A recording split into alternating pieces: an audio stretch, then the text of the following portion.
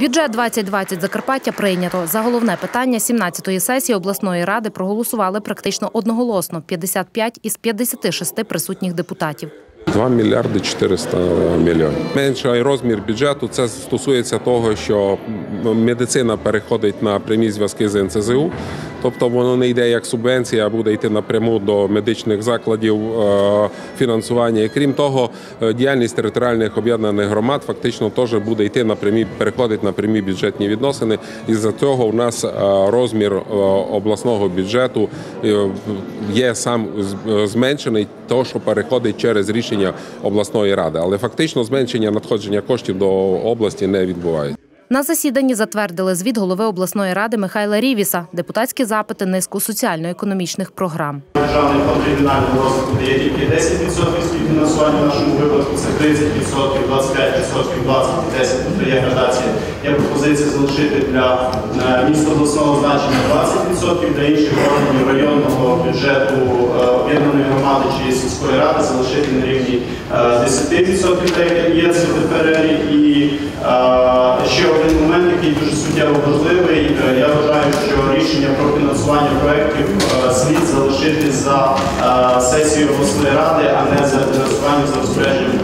Це просто можливо виконати дій.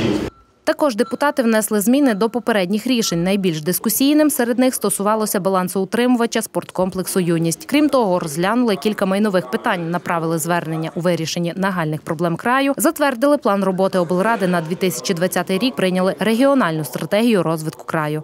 Позиція обласної ради і обласної адміністрації вона є спільна, що ці громади повинні бути. Е, Ми їх будемо підтримувати. Ми за них голосували у сесійній залі. Вони повинні бути. А та ситуація, коли втручається асоціація міст і вирішує долю е, сільського сільського населення, це я вважаю це неприпустимо. Кабінетом міністрів підтримано е, за виключенням шести громад, але за умови, якщо в буде е, проведені консультації, будуть подані е, перспективні плани, вони будуть підтверджені, тоді вони е, залишаються. Позиція голови обласної державної адміністрації, оскільки зараз обласна рада вже усунута від формування перспективних планів, така, що ми підтримуємо ці громади. Да, 60 громад. Варто додати, у 2020 році планують відкрити довгоочікувані два нові пункти пропуску у Закарпатті. Це є Яблунівка, Біла Церква. е, Також е, для того, щоб відкрити е, мала палать Нодьгош і Лубня Волосат. Вирішили депутати обласної ради і подальшу долю міжнародного аеропорту Ужгород.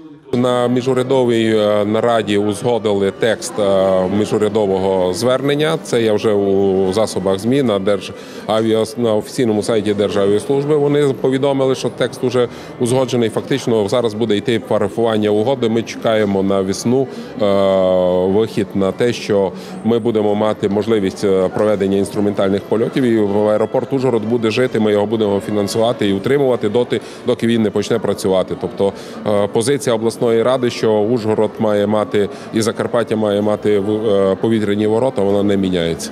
Загалом народні обранці попрацювали плідно на останньому у цьому році засіданні обласної ради. Розглянули майже 70 питань порядку денного.